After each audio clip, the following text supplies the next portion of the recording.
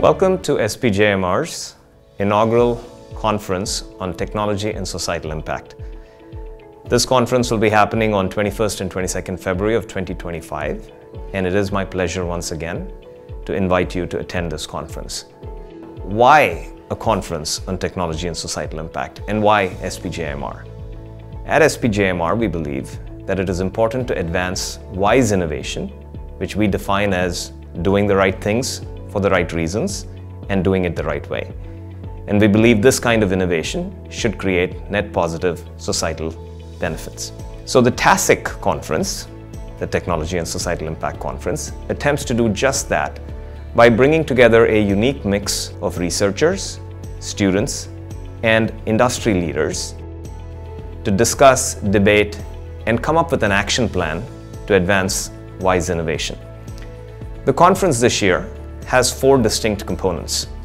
The first is a traditional research or academic track where we are inviting scholars to submit their articles on different dimensions or aspects of technology and societal impact. The second track is a student track where we're inviting students from around the world to participate in an ideathon that is focused on a specific part of technology and societal impact. Specifically, we are asking the students to imagine a world of AI being deployed for good to create a greener Bharat and a greener planet. The third track that we have is a pretty unique mix of academia and industry. We call this the Research Action track.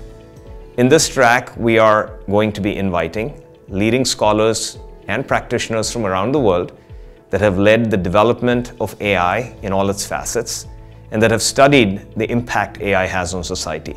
And they will then be joined by policymakers and industry practitioners and leaders who will then debate and discuss and hopefully come up with an action plan on how AI can be channeled for positive good in the Indian context. The fourth component of the conference is an award that we call the WISE Innovation Award.